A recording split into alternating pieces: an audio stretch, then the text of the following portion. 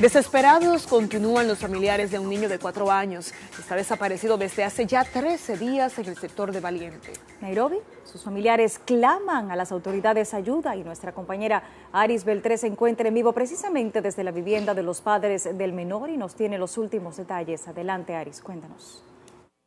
Saludos Nairobi, Gineta, así es, me encuentro aquí en el sector Valiente y les cuento que desde hace 13 días el pequeño Fray Ciprián de cuatro años está desaparecido.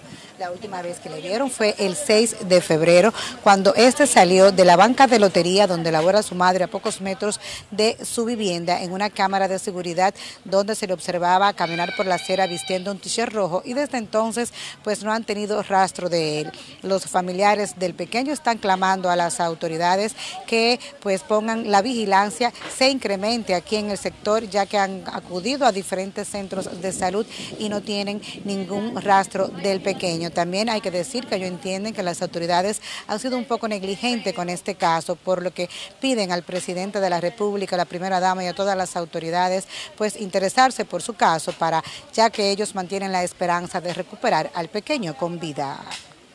Al hospital fuimos nosotros que fuimos a buscar, porque uno no tiene dinero. Si hubiera sido hijo de un funcionario, hace tiempo que estuvieran buscando. Oh, pero hace 13 días hoy y la autoridad todavía no ha dado ningún tipo de informe. Entonces señala que ellos están de cuidado, ellos tienen que estar mativos. Bueno, nos sentimos mal de, de, ese día que el niño se perdió.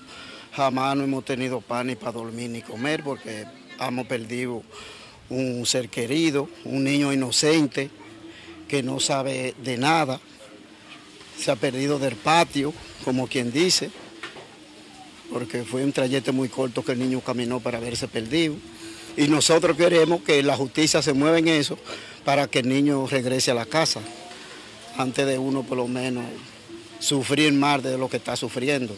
Bueno, yo le puedo decir que yo desde ese día yo no puedo dormir en mi casa tranquila. Yo me siento casi depre con depresión porque no es fácil usted perder un hijo así de un momento a otro.